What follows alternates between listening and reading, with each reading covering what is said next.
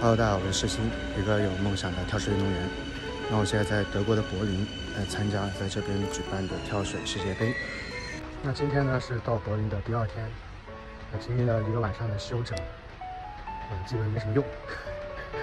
这是因为时差原因嘛，还是睡得不很好，昨晚上一直在醒。那没办法，呃，时间紧，任务重，呃，二十号就要比赛了，没两天，还是要去抓紧时间去适应这边的场地。这次的柏林跳水世界杯从本月的二十号开始到二十三号结束。比赛场地为 Schwimmon Sprunghill in Europassport Park。比赛吸引了十三个国家，五十八名运动员参加。将这四个比赛一周将决出九个项目的金牌。第一个比赛一二十号是男女三米板以及十米台式的单人项目的预赛。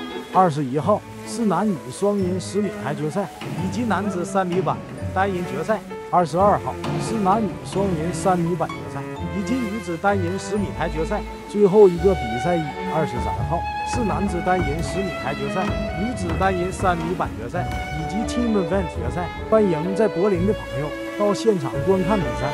好了，今天就到这，感谢大家的观看。